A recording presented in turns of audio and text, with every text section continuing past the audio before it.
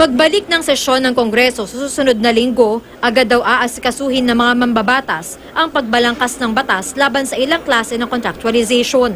Gagawin daw nilang gabay ang executive order na pinalabas ng Pangulo ngayong araw. Isa raw sa lilinawin ang labor-only contracting na illegal pero napapalusutan ng marami. mayroon man siyang kapital o equipment, investment, o anumang kagamitan, makinarya at iba pa, eh ang manggagawa naman nila eh ah, nagsusupply lamang, ah, sinusupply lamang ng isang ah, ah, manning agency or, or, or, or contractor. Sinusupply lang yon labor-only contracting na po kaagad yon. Lilinawin din nila ang mga klase ng contractualization na dapat ipagbawal at payagan at sino-sino mga empleyado ang dapat ay nasa regular possession. So yung trabaho mismo, necessary yun sa business operations mo.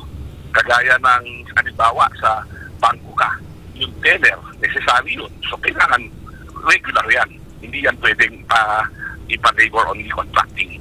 Pag-aaralan din daw nila kung tuluyan na rin ipagbabawal ang subcontracting o yung pagkuha ng isang manpower agency ng tauhan mula sa ibang ahensya kasama na ang mga tamang benepisyo at paraan para matiyak ang security of tenure ng mga empleyado. Pasado na sa Kamara ang kanilang panukala ukol sa contractualization pero sa Senado, binubuo pa lang ang committee report ukol dito.